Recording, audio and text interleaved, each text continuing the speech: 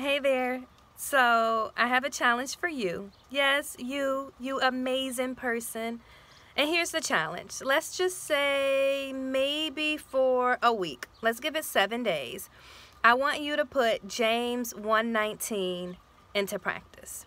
And James 1:19 says, I read it. Understand this, my dear brothers and sisters, you must all be quick to listen, slow to speak, and slow to get angry. It says you must. It's not a suggestion, it's a command. You must be quick to listen, slow to speak, and slow to get angry. I'm convinced, I really am, I'm convinced if we do just these three things, quick to listen, slow to speak, slow to get angry, we can improve any relationship.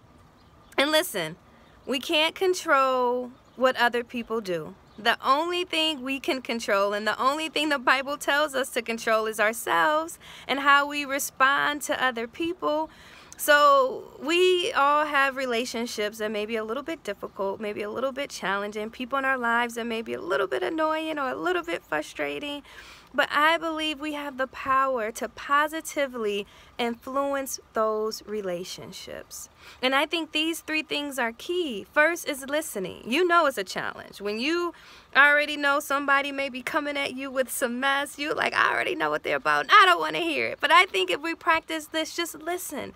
Hear them out, hear their hearts, and then be slow to respond. Maybe take a day, maybe take a couple of days, but not react in the moment and add fire to that already fiery relationship. Take time to really think about how you can respond in a Christ-like way and then be slow to anger. And listen, I know it's easier said than done, I think though that's one of the scriptures where it's like, yeah, it's simple, but not necessarily easy to do. But I want you to take on this challenge and see how it improves your relationship, see how it improves your spirit. Okay? Let's pray. Dear Heavenly Father, we know that you've called us to be peacemakers, and sometimes it's not easy, especially in the season that we're in when we're all under a little bit more stress, which can create more conflict and more disagreement in relationships. But God, I pray that you just allow us to put into practice what your word says, to be quick to listen, to be slow to speak, and to be slow to get angry. I pray all of this in your son's name. In Jesus' name I pray. Amen. Amen. Go out and be peacemakers, okay?